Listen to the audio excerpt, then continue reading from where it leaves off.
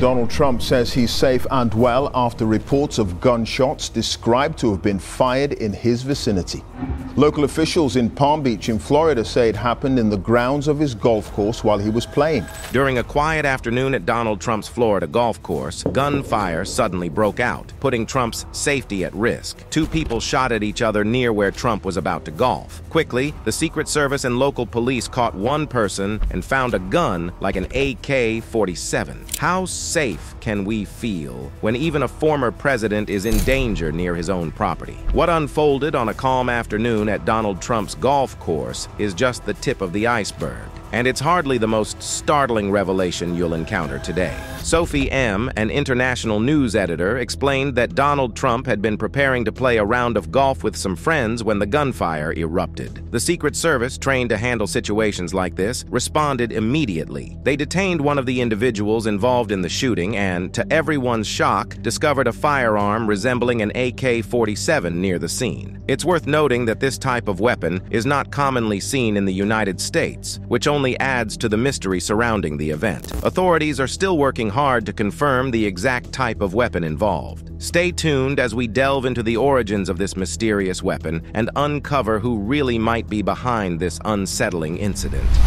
Now, in the bushes where this guy was is a AK-47 style rifle with a scope this incident has sparked a lot of concern, especially regarding potential threats to Donald Trump. It's not an isolated event either. In fact, it comes on the heels of another recent attempt on Trump's life, raising even more questions about his safety. Sophie pointed out that global political tensions, as well as strong ideological divides within the U.S., may be playing a role in the increase in violent threats. It seems some people are choosing violence over democratic processes like elections, which is a worrying trend. Sophie also mentioned that President Joe Biden and Vice President Kamala Harris are fully aware of the situation. In response, Vice President Harris made a public statement condemning the violence. She was firm in her stance, stating that there is absolutely no place for such actions in the United States. Her words reflect the growing concern about the political climate in the country, especially as we head toward the upcoming elections. As investigations continue, both the Secret Service and the FBI FBI are expected to release more information. Right now, they're reviewing security footage from the golf course, which is equipped with a large number of cameras. They're not just looking at the footage from the day of the incident, but are also going back through the recordings from previous days. Their goal is to determine if there were any signs of suspicious activity leading up to the shooting.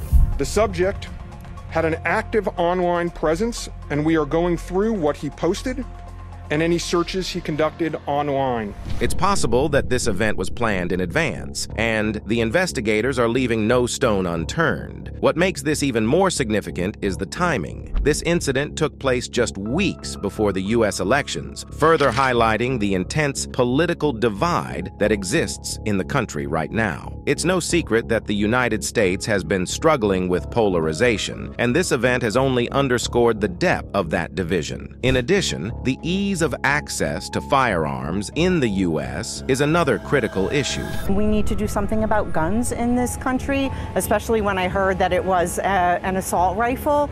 Um, that is going to make assassination attempts very easy. Many are wondering how such a weapon, resembling an AK-47, could be found near a former president's golf course. This availability of firearms is not just a policy debate. It's something that could potentially influence voter sentiment as they head to the poll. The current political climate is incredibly tense. People are not only divided on political issues, but the rise in violence is causing many to feel unsafe. This incident at the golf course is a stark reminder of the security challenges that America faces during this election season. It's not just about candidates and policies anymore, it's also about ensuring that the democratic process itself remains secure and that leaders, past and present, are safe from harm. Sophie GM also noted that similar incidents have occurred in the past, though perhaps not as high profile as this one. The increase in politically motivated violence is something that experts have been warning about for some time. According to Sophie, there is a pattern emerging. Whether it's because of heightened political rhetoric or deep-seated frustrations, more and more individuals seem to be turning to violence as a means of expressing their views. This is deeply troubling, as it signals a shift away from peaceful, democratic methods like voting and debate. As the investigation unfolds, the authorities are looking into whether this incident is linked to any broader threat. With the upcoming elections, the stakes are incredibly high. The Secret Service and other law enforcement agencies are on high alert, particularly when it comes to protecting high-profile figures like Trump. Any potential threat is being taken very seriously, and this latest incident has only ramped up security efforts across the board. As the investigation continues, there are still many unanswered questions. For one, authorities are still trying to piece together exactly what led to the gunfire exchange.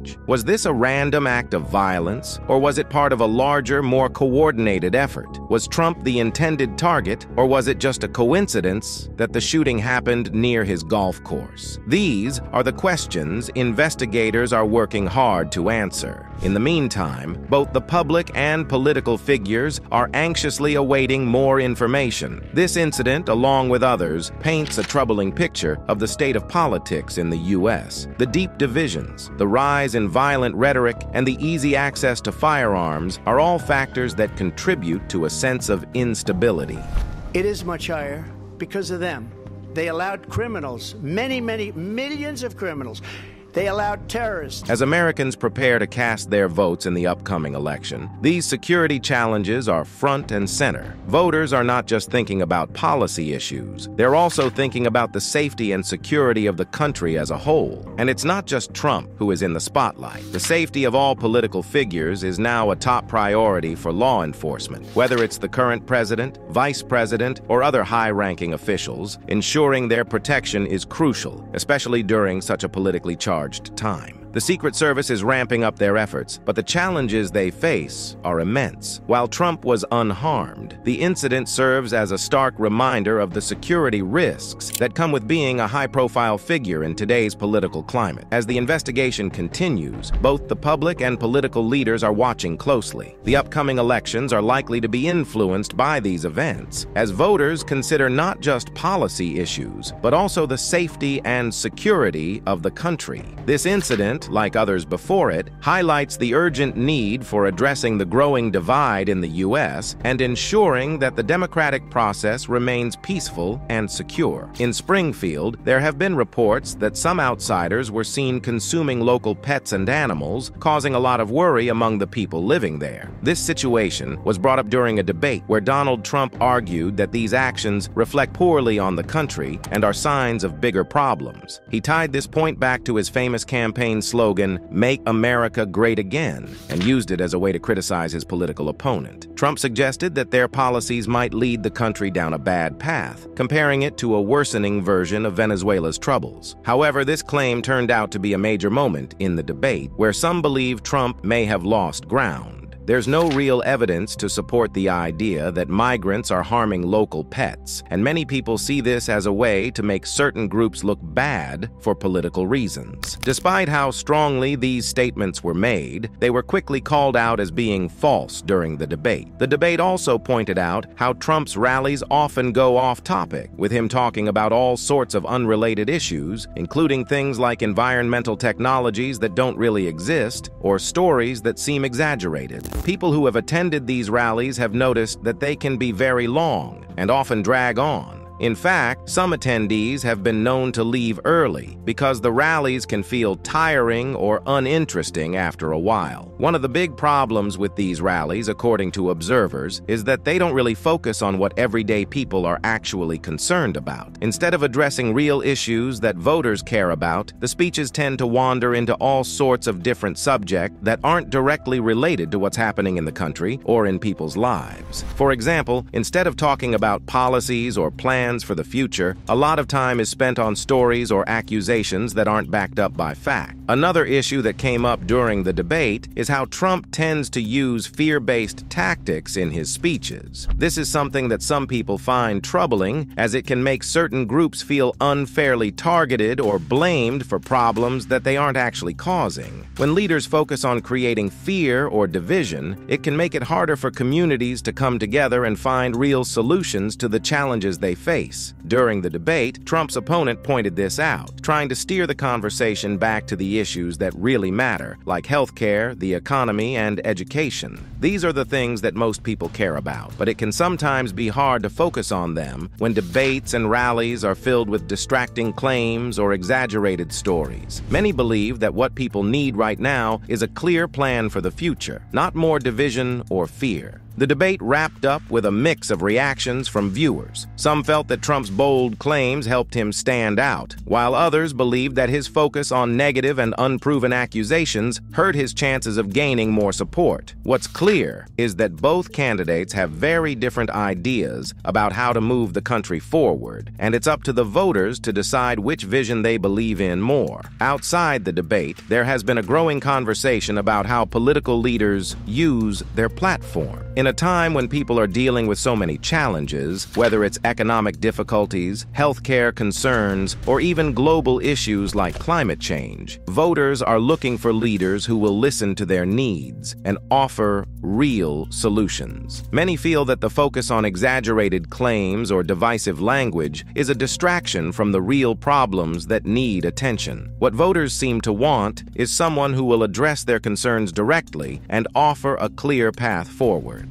The debate, while full of heated moments, didn't always manage to stay focused on these issues. Instead, it often veered into topics that didn't really address the everyday worries of people in the country. This has left many wondering what the future holds as the election draws closer and what kind of leadership will truly make a difference in their lives. But it's important to remember that this is just one moment in a much larger political journey. While debates and rallies can be dramatic, they are only part of the picture. As voters, it's crucial to look beyond the noise and really think about what kind of policies and plans will make life better for everyone. Whether it's healthcare, education, or jobs, these are the issues that will have the biggest impact on daily life, and they deserve our full attention. The next few weeks are sure to bring more debates, more rallies, and more campaign speeches. And with every new statement, claim, or promise, It's disgraceful. And that's the problem we have. We have a fake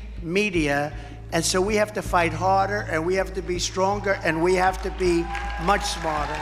Voters will have to think carefully about what kind of future they want. The election isn't just about choosing a leader for the next few years. It's about deciding what kind of country we want to be. As we move closer to Election Day, the political landscape will continue to shift. New issues will come up and new challenges will need to be addressed. But no matter what happens in the coming days, one thing remains clear. Voters will play a crucial role in shaping the future of the country. It's up to them to decide which leaders will guide us through the tough times and help build a better tomorrow. What matters most is that we choose leaders who are willing to listen, understand, and work for the good of all people, not just a select few. The debates, rallies, and speeches are just part of the process, but they shouldn't overshadow the real issues that affect our everyday lives. Let's hope that the conversations in the coming weeks will bring more focus to what really matters and help us move toward a brighter, more united future. In the recent debate, Vice President Kamala Harris made a clear point. She promised to be the kind of leader who truly listens to what people need and prioritizes them. She asked the audience to imagine what it would be like to have a president who puts their concerns first. But things quickly shifted when President Donald Trump responded. He didn't focus on the policies she was talking about. Instead, he bragged about the large, enthusiastic crowds at his rallies, saying that unlike Harris, he doesn't need to pay people to show up. He described his events as historic, claiming that people come to his rallies because they want to take back their country. But this wasn't the only point Trump tried to make. The debate took an interesting turn when Harris brought up the topic of crowd sizes, and Trump seemed to get defensive right away. Just by mentioning the size of his crowds, Harris managed to push him into a corner, showing a side of him that many people might find concerning. He reacted quickly and emotionally, which many saw as a major weakness. His responses became exaggerated, and he lost his calm, making him appear like someone who could be easily provoked, even by political opponents or worse, global enemies. The debate also touched on serious issues like abortion. Trump made claims about late-term and post-birth abortions. Abortion in the ninth month is absolutely fine. He also says execution after birth. It's execution, no longer abortion. Which the moderators quickly debunked. His statements were inaccurate, and they pointed out his habit of spreading false information. In contrast, Harris focused on the real challenges that women face when it comes to reproductive rights. She pledged to protect Roe v. Wade and make sure women's choices are respected, clearly outlining her position on this critical issue. The conversation didn't stop there. Trump's remarks on racial identity were also called into question during the debate. When Harris directly challenged him on the topic, it became clear that Trump wasn't as comfortable talking about it as he had been in the past when she wasn't present. This showed a gap between the bold, sometimes harsh, statements he makes in public and the way he handled himself when directly confronted. It painted a picture of inconsistency that didn't go unnoticed by the audience. Climate change was another key issue that came up during the debate. Harris pointed out that Trump has consistently denied the seriousness of climate change. Well, the former president had said the climate change is a hoax. And what we know is that it is very real. She aligned herself with the concerns of young voters, many of whom are deeply worried about the environment and the future of the planet. Harris made it clear that she is committed to tackling these environmental challenges head on. In response, Trump avoided the issue and instead attacked Harris personally, which likely didn't sit well with voters who are more interested in hearing real solutions to real problems. As the debate continued, it became clear that Harris had a strong ability to stay calm and collected while also clearly explaining her policies. Trump, on the other hand, seemed to struggle with staying focused on the issues, and his credibility took a hit. His lack of preparation and discipline may have turned off undecided voters who are looking for a steady, thoughtful leader who can handle the country's critical challenges. But here's where things get even more interesting. Throughout the debate, Trump kept circling back to his favorite talking points, crowd sizes, personal attacks, and exaggerated claims, while avoiding some of the more pressing topics. This pattern of behavior wasn't new, but in the debate setting, it stood out more than ever. Voters, watching at home, likely noticed the contrast between Harris's calm, focused approach and Trump's more chaotic, reactive style. At one point in the debate, Harris took a moment to speak directly to women across the country, promising to fight for their rights and protect the progress that has been made. This personal connection with voters helped to reinforce her message and show that she understands what's at stake for many Americans. Trump, meanwhile, kept returning to his rally-style rhetoric, which may have played well to his base, but didn't do much to convince those who are still undecided. She's been there for three and a half years. They've had three and a half years to fix the border. They've had three and a half years to create jobs, and all the things we talked about. Trump's overall behavior during the debate raised questions about his ability to handle the complexities of being president. His defensive reactions, combined with his inability to stay on message, made it clear that he may not be prepared to deal with the critical issues facing the nation. This could potentially hurt his chances of winning over voters who are still on the fence. As the debate wrapped up, the difference between the two candidates was clear. Harris stayed composed and focused on real issues like healthcare, reproductive rights, and climate change, while Trump seemed more interested in personal attacks and crowd sizes. This contrast likely left many voters thinking about who is really prepared to lead the country through its current challenges. How deep does the threat go? If a former president can be targeted so close to home, what does this mean for the security of ordinary citizens? Don't forget to like and subscribe for more investigative updates as we approach the elections.